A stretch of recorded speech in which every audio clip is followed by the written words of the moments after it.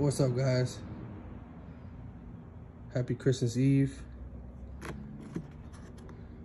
Again, this is my Ridgid Man, I've been messing with this all week.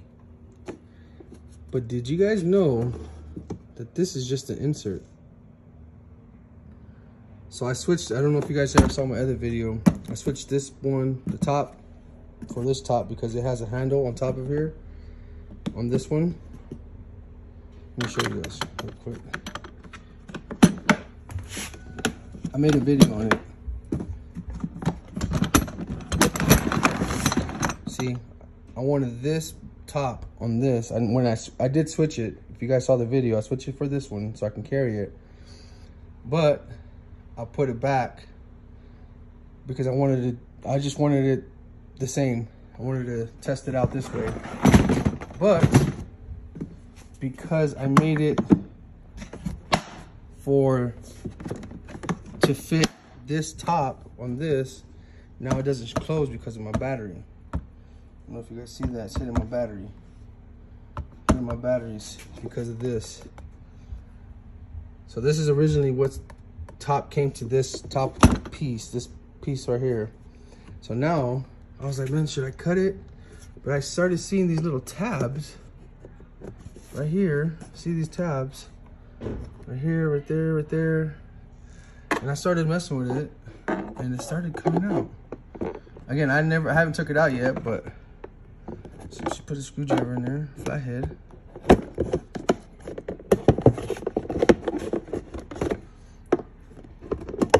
Again, if you're gonna use these orange, these orange things were in here, the little sleeves and all that stuff but I used it for my drills, battery and drill bits. But when I switched it back, this didn't fit because it was hitting my battery. So I started taking these off. Again, this is my first time taking it off. Look at that, it's just an insert. It's just an insert, huh?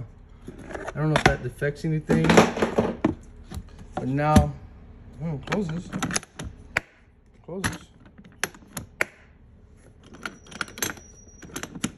But now I want to have space in there. Have that space. It's a pretty good, maybe two inch space right here. I might just put foam in there. But yeah, so with this, this is just the insert. I'm pretty sure this pops right back in, if I'm not mistaken. Just line it up, push it in. But yeah, if you guys didn't know that, huh. Hope that helped you guys out. That does pop off though. And it does re, I'm pretty sure it pops right back in.